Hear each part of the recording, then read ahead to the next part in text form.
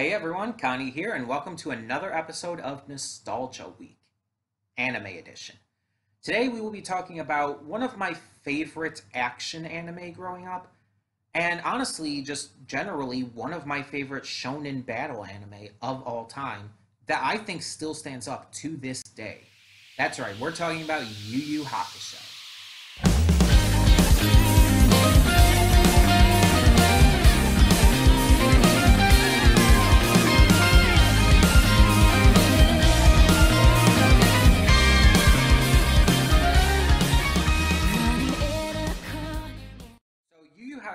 Is a series that was originally created by Yoshihiro Togashi, who, fun fact by the way, is married to the creator of Sailor Moon. Just an interesting little uh, tidbit. Um, Yu Yu Hakusho is the story of Yusuke Urameshi, a delinquent teenager who ends up dying in the very first, I'm going to say episode because I watched it as a anime, as the anime series, who dies in the very first episode actually sacrificing his life to save a kid from being hit by a car, which ends up not being even what was going to happen in the first place. But you know, um, he ends up being uh, kind of recruited into becoming a spirit detective and solving these issues for the uh, spirit world. Um, basically, as in order to earn a chance at a second, well, to earn a second chance at life, basically. Um, so he takes on these cases. He takes on these different uh, different challenges in order to fight all of these demons and otherworldly characters in all kinds of different ways. But he's not alone. He has a group of friends uh, that he gathers throughout the series. Uh, one of which is kind of this rival turned best friend, Kuwabara, who is by far one of the best characters in this entire series. Kuwabara is amazing. He he's just this amazingly ridiculous doofus. He's so fucking dumb, but in the best way. Like you you've seen those characters who are just really dumb, but they're also extremely lovable, extremely courageous and just really strong. He's definitely one of those characters. Um, but you also have Hiei and Kurama. Hiei and Kurama are two demons who, at first, kind of act as antagonists to Yusuke, but end up joining his side in the end. Um, Hiei uh, is a demon who uses uh, like black dragon and black fire kind of uh, abilities. Um, he also has the ability of I think it's called the Jagan Eye. Um, allow it basically he turns green and a bunch of eyes sprout over his body. It's really creepy and weird.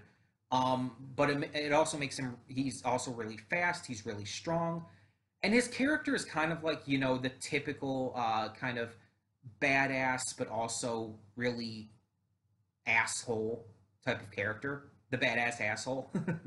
um, kind of like Vegeta or Sasuke or those kind of characters. He's like that.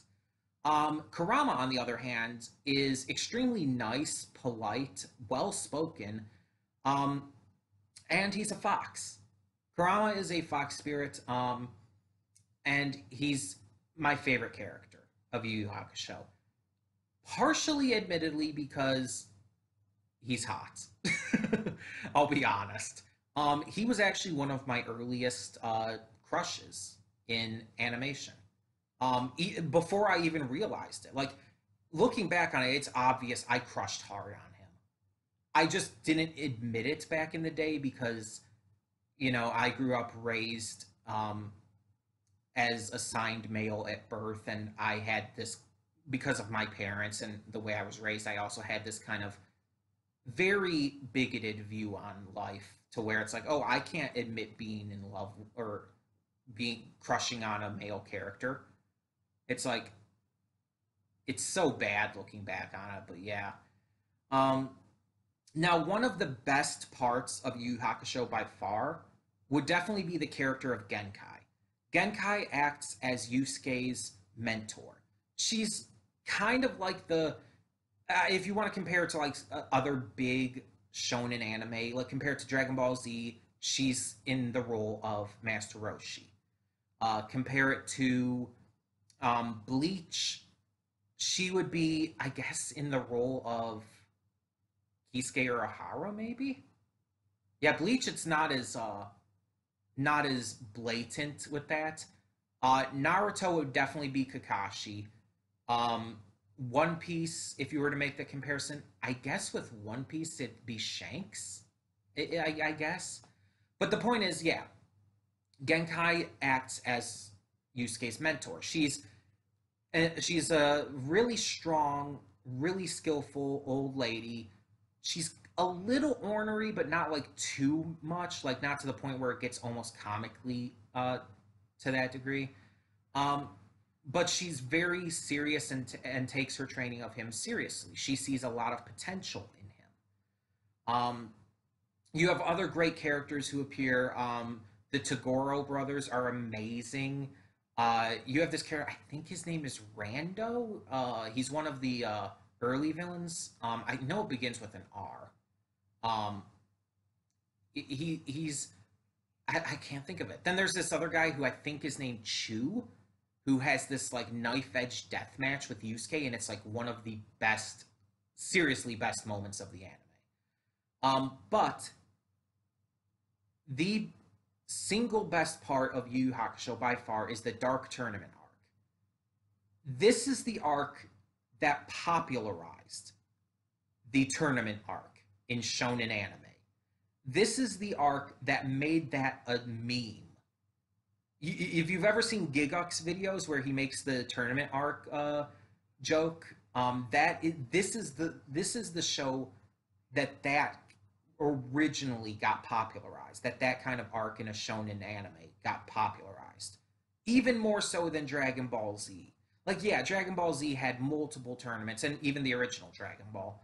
Um, but Yu Yu Hakusho's Dark Tournament was on such another level. It was such a big deal. Even now, people look back on it as one of the greatest story arcs in all of anime. Period. And not only just because of the writing and characters in it, but the action is top notch. The actual fights that occur within it are so fucking good.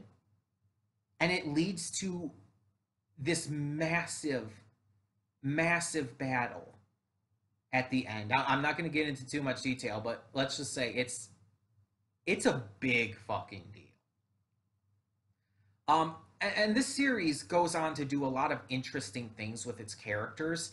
And the biggest thing I think that really needs to be taken into account is that it develops its characters extremely well. The Yusuke Urameshi at the beginning of the series is nowhere near the same character as at the end. He is such a different character. He has evolved in such important ways and become, honestly, such a better person. Kuwabara is vastly different at the beginning than he is at the end. Hiei and Kurama have grown as well. Though Kurama, honestly, maybe a little less so, but then again, he didn't have as much room to need to grow because he was already kind of good. um, Hiei and uh, Hiei, Kuwabara, Yusuke, they were kind of like the uh, delinquents. So they had much more room to need to grow. So yeah. Um, the art and animation is fantastic and still holds up. It really does. Um, the soundtrack is great. The uh, voice acting is awesome.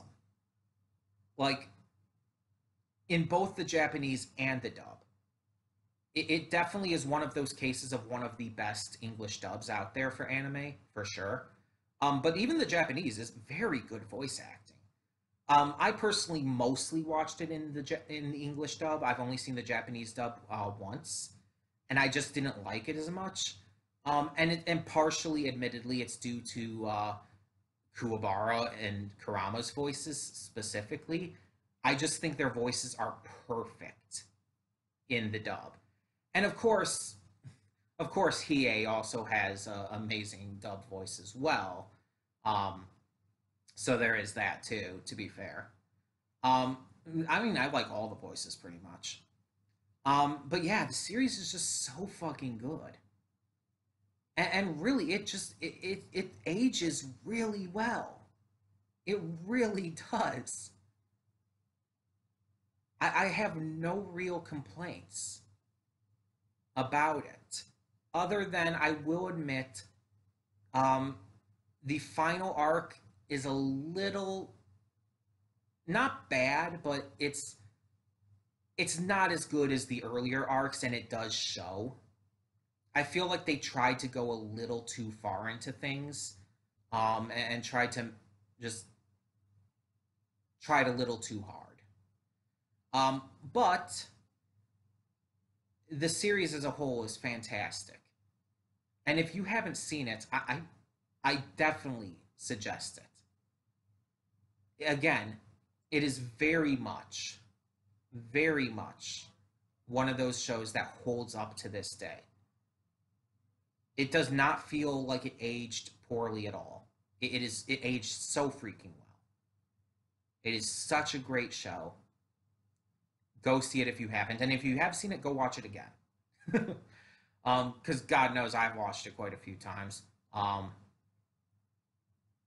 but yeah, yeah. So that is my uh, just general thoughts as these uh, Nostalgia Week videos tend to go on Yu Yu Hakusho. Tell me your thoughts on the series uh, down in the comments below. What is your favorite arcs, your favorite characters, all of that jazz. Um, but in the meantime, we only have one more Nostalgia Week video to go for this uh, this Nostalgia Week. Um, there's only one more to go. And I've been racking my brain over over exactly what to do. Because it's like how do you end off a week of nostalgic memories of some really great classic anime? There's so many options. There's so many choices. It's it's tough. But I, I I know I know exactly what would be the best move. And while this clue is like obnoxiously obvious. I'm I'm really trying to hold back laughter just because of how obvious it is compared to some of the other clues which may have been a little a little more subtle at least. Um this one it's just like there's no hiding it because I, I can't think of anything a little more subtle, you know. Um anything would just like tell you exactly what it's going to be. So, yeah. Moon power makeup.